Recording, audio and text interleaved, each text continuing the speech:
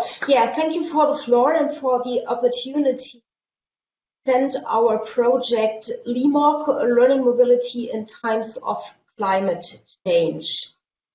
Um, so, first of all, um, I'd like to introduce to you um, a little bit the background of this project, um, also to understand the focus we have on this two years project. Um, so in general, um, I think you most probably discussed all these facts that are on this slide, but just briefly um, to summarize it, um, climate change has become one of the most severe threats the world of today has to face. Um, harmful effects of traveling on the world climate have become obvious. Um, words or terms like flight shame are in our uh, vocabulary now. Um, especially young people have actively taken up this issue and have brought it to the public. Um, Fridays for Future um, would be the um, word for it. Um, consequently, youth work and youth mobility for learning purposes are increasingly affected by questions of environmental compatibility and climate change. And the topic has also been taken up politically at both European and international level. Um, I think one of a very good example is the Green Erasmus, um, you most probably all know. So in the end, we can say youth organizations feel a growing need to make their activities fit for the future. So this is a quite general ter term, um, make their activities fit for the future. Um, well, let's see what LEMOCC focuses on.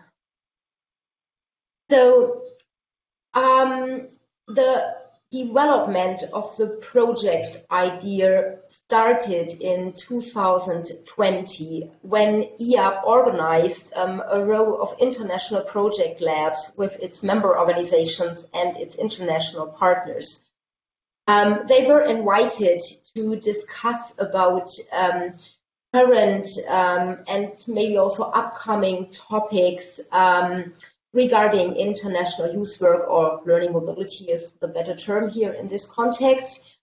And one of the central topics was the issue of sustainability and climate change. Um, I just summarize you the yeah original wording uh, from this international international project labs just to say I'm not so happy dividing between sustainability and climate change, but this is another discussion just to mention it. And the main questions um, in this project labs um, regarding this topic was how can activities of international youth mobility become more sustainable? What do young people expect of environmental friendly mobility programs? And how is the topic discussed at European and international level and which organizations are already experienced and interested in sustainable youth mobility?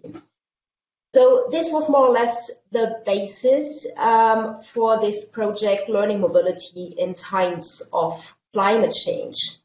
And as you can see on the slide, it's like words like sustainability, sustainable, environmental friendly, climate change, they're all going, yeah, they're all there and not very in order. Um, so we decided um, when we um, developed the concrete project concept to focus definitely on the topic of climate change.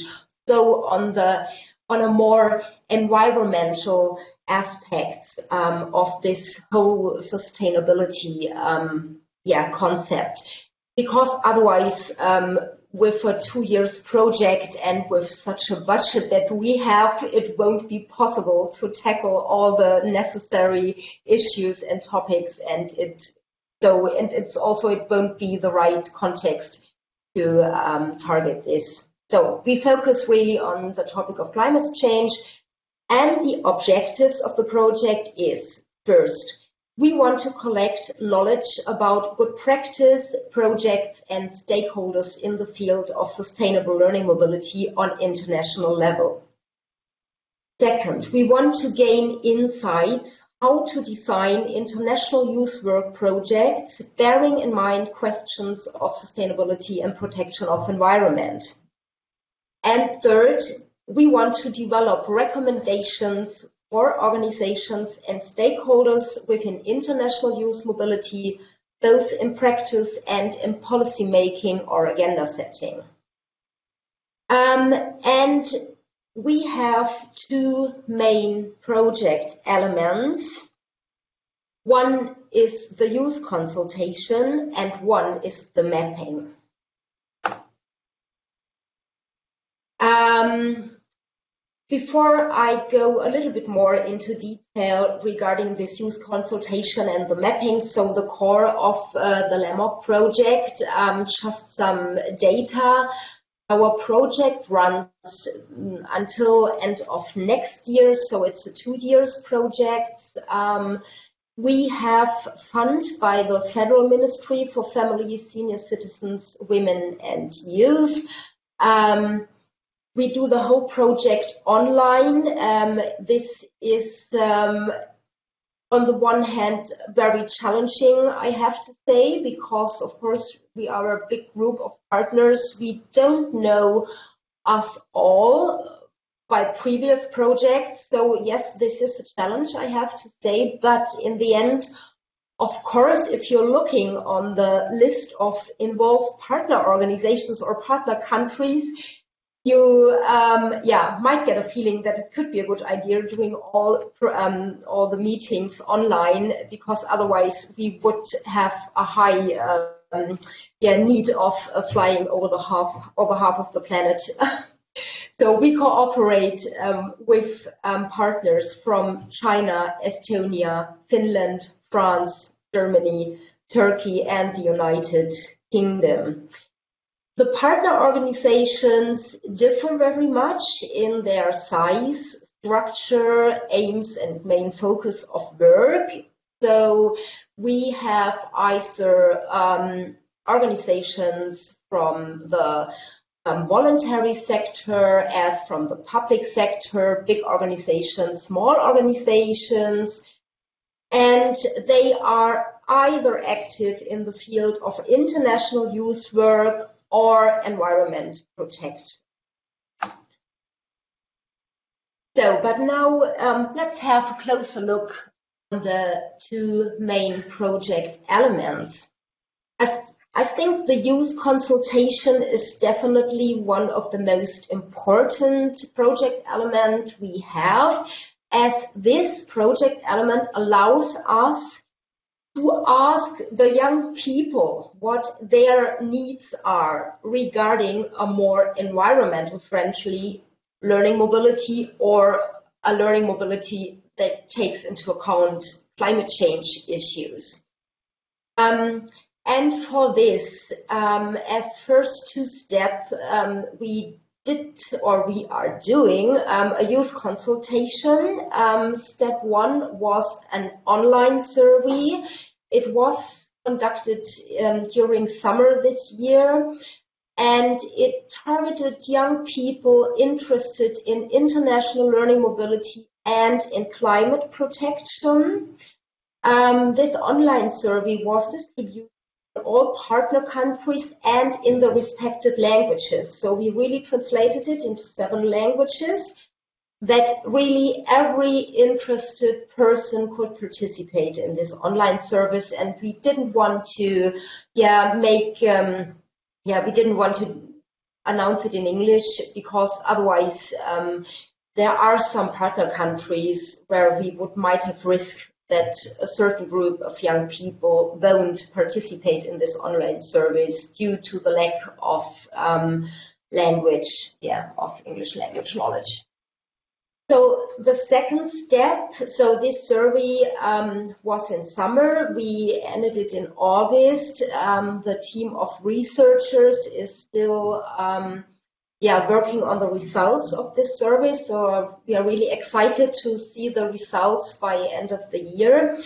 Um, but this is not the only thing or the only element of the youth consultation. We will now have in November um, four different focus groups um, with up to 28 young uh, participants, so approximately four from each partner country. Well, this is the objective. We might not get four young people from each partner country, but we try to um, to be successful in this meeting. We'll see. Um, this will be conducted in English language, um, in fact, because it won't be possible to, we would have more um, interpreters than uh, young participants in this focus groups if we would integrate interpretation, so we decided to do it in English. Um, this youth consultation is conducted by a team of researchers from the University of Hildesheim, um, Professor Wolfgang Schröer and his. Yeah, and as I said, we expect the results of this youth consultation by end of the year, and the report will be in English and in German. So the next project element is the mapping, um, and as I heard before, the EPLM is also planning a map of good practices, and I think, um, yeah, this we should might be in touch um, regarding this your mapping because we also plan to have a mapping um, it should provide an overview about existing climate sensitive youth mobility policies, youth mobility actors and good practices with a focus on our partner countries I've already mentioned. Um, it should inspire policymakers and practitioners um, and it should foster also peer-to-peer -peer learning in this field. Um, we also would like want to facilitate partner search for climate sensitive youth mobility projects with this mapping, also encourage new projects, of course, and facilitate networking and future exchange of good practice. So it's more or less three different pillars. It's policy development in the countries, including support mechanism and also funding schemes, that could be used for climate sensitive learning mobility activities. Um, the second pillar will be an overview um, about main actors and organizations. And last but not least, examples of good practice. We plan to have two to three examples each country. It will be um, an online publication and we also um, are going to focus on non-formal learning mobility. Um, you might know that in some countries the um, learning mobility in the field of formal education is sometimes also of high importance. So, but we said we really want to focus on non-formal learning sector. Yeah, so this is already it. Um, many thanks for your kind attention, and I'm really looking forward to your concerns and questions and remarks and to discuss a little bit with you about this, um, yeah, very challenging topic. Thank you.